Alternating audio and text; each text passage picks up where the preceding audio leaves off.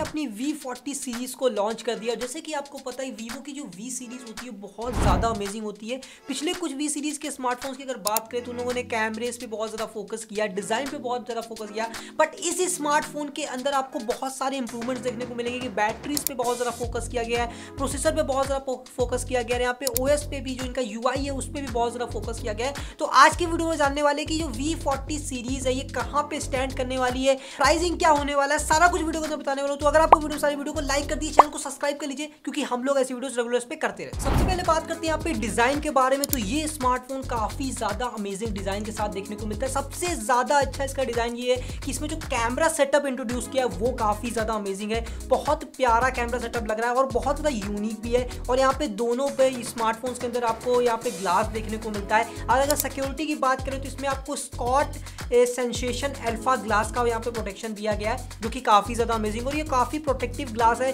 Vivo ने अपने event में भी ये सारी चीज़ें बताई कि वहाँ पे इन लोगों ने बहुत हैवी हैवी टेस्ट किए, जिसकी वजह से जो ग्लास का प्रोटेक्शन है, वो आपको काफ़ी ज़्यादा अमेजिंग देखने को मिलता है। तो डिज़ाइन वाइज काफ़ी ज़्यादा अमेजिंग है, चारों और फ्रेम जो है वो भी काफ़ी ज़्यादा अमेजिंग लगता है। इन एंड फील बहुत ज़्यादा अमेजिंग अगर आप स्मार्टफ़ोन को बाहर कहीं निकालते हो तो जो एक अमेजिंग एक्सपीरियंस जो है, वो आपको यहाँ पे देखने को मिल जाता है। डिस्प्ले के बारे में बात करें तो यहाँ पे आपको 6.78 इंच की, आपको 1.5 के एमुलेट डिस्प्ले देखने को मिलती है जो कि 120 हर्ट्ज के रेफ्रेश के साथ आती है। और अगर डिस्प्ले की क्वालिटी की बात करें बेजल्स की बात करें, बहुत ज़्यादा पतले बेजल्स देखने को मिलते हैं। फ्लैक्सी की स्मार्टफ़ोन है तो इसके अंदर आपको कर्व डिस्प्ले वगैरह सारों की देखने को मिलेगा, पर यहाँ पे डिस्प्ले की क्वालिटी भी बहुत ज़्यादा अमेजिंग यहाँ पे देखने को मिलेगी। मल्टीमीडिया अगर कंज्यूम करते हो, बहुत ज़्यादा अमेजिंग यहाँ पे यू एक्सपीरियंस आपको यहाँ पे देखने को यहाँ पे मिल जाते हैं। यहाँ पे आप एच कॉन्टेंट भी अच्छी तरीके से मतलब यहाँ पे वॉच कर सकते हो। और अगर बात करें यहाँ पे प्रोसेसर के बारे में तो इसके अंदर आपको देखने को मिलता है वी फोर्टी प्रो सीरीज़ के अंदर मीडियाटेक का 9200 प्लस प्रोसेसर देखने को मिलता है, जो कि काफ़ी अच्छी परफॉर्मेंस यहाँ पे ला के देता है। इसके टू स्कोर्स भी बहुत ज़्यादा अमेजिंग रिज़ल्ट के साथ आते हैं। और अगर बात करें यहाँ पे गेमिंग एक्सपीरियंस के बारे में तो यहाँ पे आप हाइयर सेटिंग्स पे सारे गेम्स खेल सकते हो, चाहे वो जेंशन इम्पैक्ट हो या फिर वहाँ पे पबजी हो या बीजीएमआई हो, सारे जो गेम्स है वो आप इसके अंदर हाइयर सेटिंग पे खेल सकते हो। और ये कोई गेमिंग स्मार्टफ़ोन तो नहीं है बट डेफिनेटली इसके अंदर जो सेटिंग्स है, जो यहाँ पे परफॉर्मेंस लेके आ रहा है ये स्मार्टफ़ोन वो काफ़ी ज़्यादा अमेजिंग है। वैसे अगर रैम सपोर्ट्स की बात करें तो इसके अंदर आपको L P D R five RAM देखने को मिलती है यूफस थ्री पॉइंट वन देखने को मिल जाता है। अगर बैटरी की बात करें तो पचपन सौ एम की बैटरी देखने को मिलती है तो बड़ी बैटरी यूज़ की गई है। और अगर चार्जिंग की बात करें एट्टी वॉट की आपको चार्जिंग देखने को मिलती है। यहाँ पे आपको आई की रेटिंग देखने को मिलती है तो पहली बार वीवो के इतने स्मार्टफोन्स के अंदर आईपी रेटिंग देखने को मिली, वो भी इतनी ज़्यादा तो वो एक प्लस पॉइंट यहाँ पे देखने को मिलता है। वाइड वन एल का सपोर्ट आपको देखने को मिलता है। एच वीडियोज़ जो है, वो आप यहाँ पे वॉच कर पाओगे। और ये यूट्यूब पे भी अवेलेबल और नेटफ्लिक्स पे भी आप यहाँ पे कर पाओगे। अगर बात करें OS के बारे में तो यहाँ पे फन टच ओ एस देखने को मिलता है, जो कि काफ़ी ज़्यादा अमेजिंग और ज़्यादा इनहेंस कर दिया। मैंने जैसे कि आपको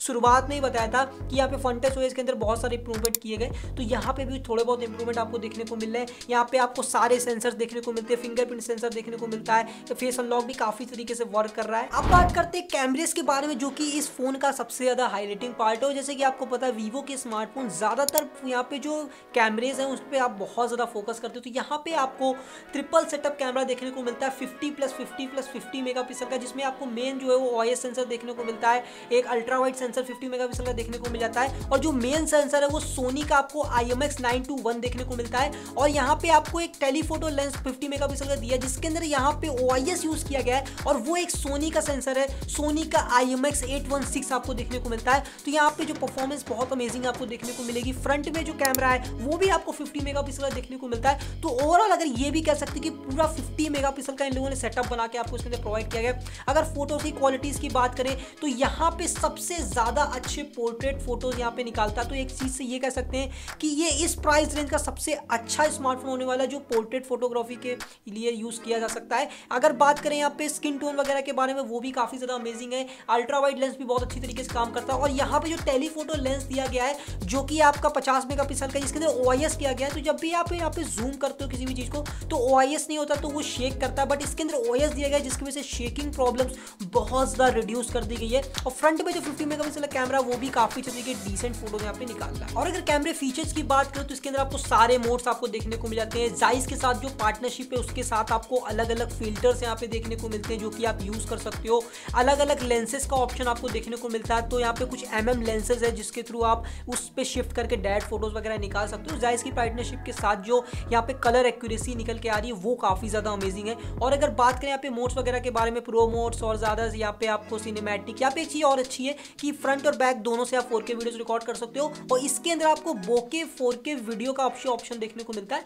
तो अब बोके मोड पर अगर आपको मतलब साइड में ब्लर हो और आप नॉर्मल फ्रंट में हो, ऐसी वीडियो अगर आपको रिकॉर्ड करनी है तो आप इस फ़ोन की वजह से रिकॉर्ड अब बात करते हैं कनेक्टिविटी के बारे में तो इसके अंदर आपको आठ फाइव जी बैंड देखने को मिलते हैं डुअल फोर जी वोल्टी है वाईफाई सेवन का सपोर्ट है ब्लूटूथ फाइव पॉइंट थ्री देखने को यहाँ पे मिल जाता है। और अगर अपडेट्स वगैरह की बात करें तो यहाँ पे वीवो ने प्रोमिस किए कि तीन साल के आपको मेजर अपडेट्स देखने को मिलेंगे, दो साल के सिक्योरिटी पैचेस वगैरह देखने को मिल जाते हैं। तो मेरे हिसाब से जो अपडेट्स वगैरह की पॉलिसी है, वो मेरे हिसाब से काफ़ी ज़्यादा अमेजिंग है।